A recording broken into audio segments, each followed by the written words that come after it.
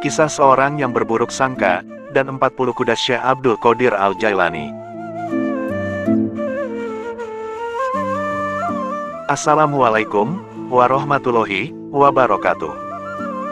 Begitu banyak karomah dari Syekh Abdul Qadir Al-Jailani, dan saking banyaknya karomah beliau, hanya Allah yang mengetahuinya. Kali ini Hikayah Islam Channel akan mengisahkan salah satu karomah Syekh Abdul Qadir Al-Jailani yang luar biasa, dan hanya sebagian muslimin dan muslimat yang pernah mendengarnya. Yakni, kisah seorang yang berburuk sangka kepada beliau, dan 40 kuda Syekh Abdul Qadir Al-Jailani. Berikut kisahnya. Seorang laki-laki datang ke Baghdad. Alasan kedatangannya karena mendengar kemasyhuran Syekh Abdul Qadir Al-Jailani. Tiba di Baghdad, laki-laki itu langsung menuju tempat kediaman Syekh Abdul Qadir Al-Jailani, dengan maksud ingin menemuinya.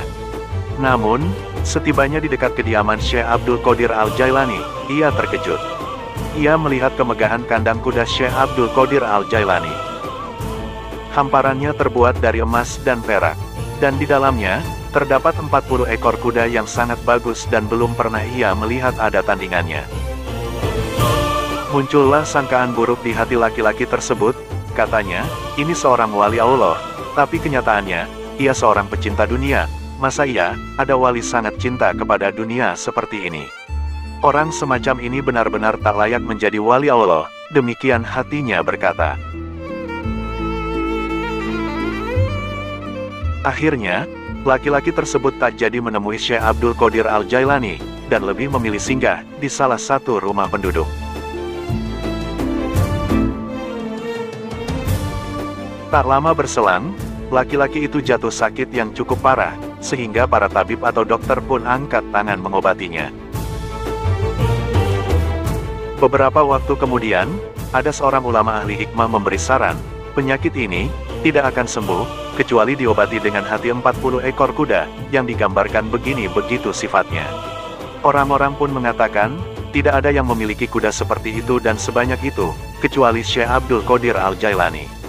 Coba saja engkau temui, karena ia seorang yang murah hati dan dermawan.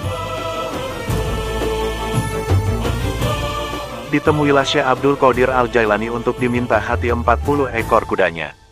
Dan hasilnya luar biasa, Syekh Abdul Qadir Al-Jailani memberikan dan merelakan semua kudanya, untuk dijadikan obat penyakit si laki-laki tadi.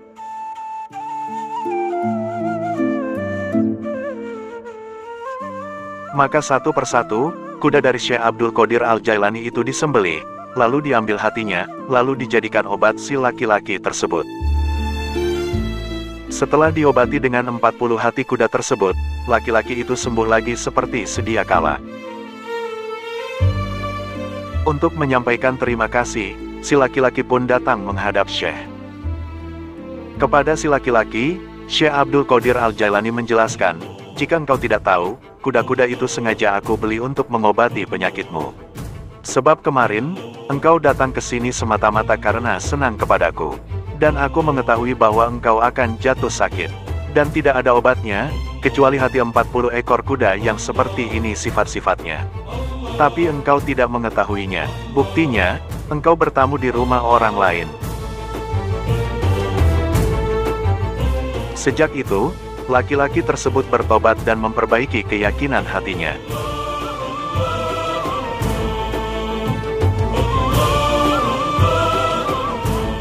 Wahai sahabat-sahabat sekalian yang dirahmati Allah, dari kisah di atas, dapat dipetik beberapa pelajaran. 1. Syekh Abdul Qadir Al-Jailani adalah seorang yang telah mencapai derajat kewalian yang tinggi, sehingga menyandang gelar Sultanul Aulia, alias rajanya para wali. 2. Karena keluhuran derajatnya, Syekh Abdul Qadir Al-Jailani memiliki karomah yang luar biasa. Salah satu karomahnya ialah, menyelamatkan orang-orang yang mencintainya. 3.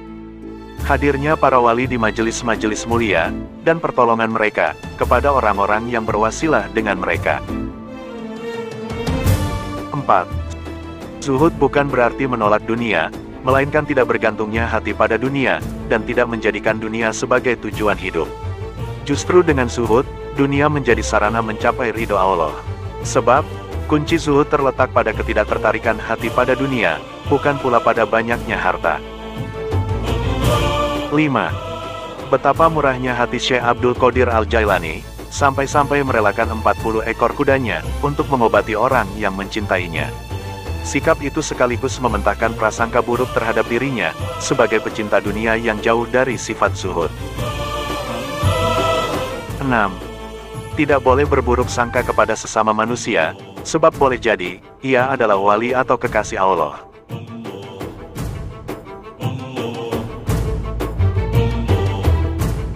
Sementara dari wali-wali Allah, banyak perkara di luar nalar sebagai bentuk karomahnya.